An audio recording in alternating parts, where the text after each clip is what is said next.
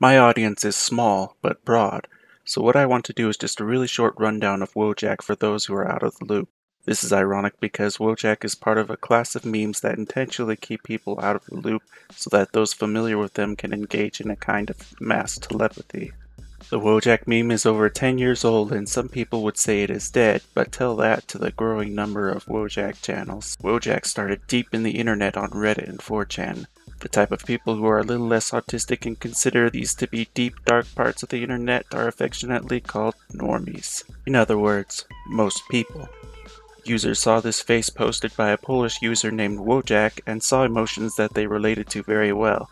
A face that was pained, but dealing with it. This is how he came to be known as the Feels Guy, and came to represent an everyman, a blank canvas on which to paint the struggles of the working class 20-something man. When Wojak gives up on life, he is known as Doomer. When he experiences a reawakening, he is known as Bloomer. From there, a number of other memes were crafted in this style. Perhaps it was popular because anyone with MS Paint can contribute. One of the additions was the 30-year-old boomer. Boomer is being used less and less to refer to baby boomers and more to anyone who is out of touch and has ways of thinking considered to be outdated. The carefree boomer likes fishing and wakes up early to ride his lawnmower shirtless. He is rarely seen without his monster energy. Apparently this is a very identifiable caricature in the eyes of the younger generation.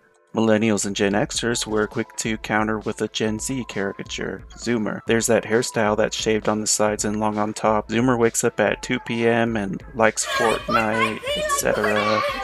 And the list goes on. There's Doomer Girl, Soy Jack, Trad Girl, Femboy, the NPCs, and it goes on. A character that evolves separately but joined the Wojak collection is Chad. Chad is a take on the alpha male who is successful in his career, physique, and sexual conquests. When portrayed positively, he is thought of what every man wishes they were, with a rugged, thick-skinned confidence. When portrayed less flatteringly, we arrive at this caricature.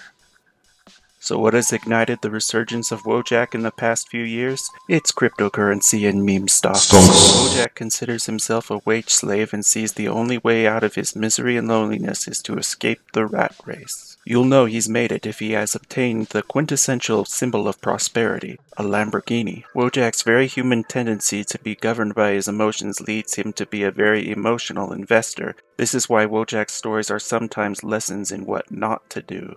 Other times his luck seems to be so bad that the only explanation is that there is some powerful being out to get him personally. Meet Bogdanov.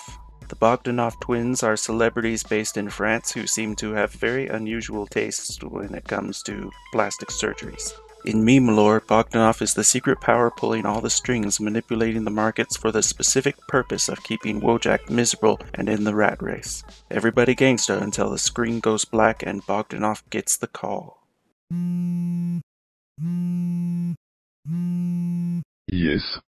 It was. Jump.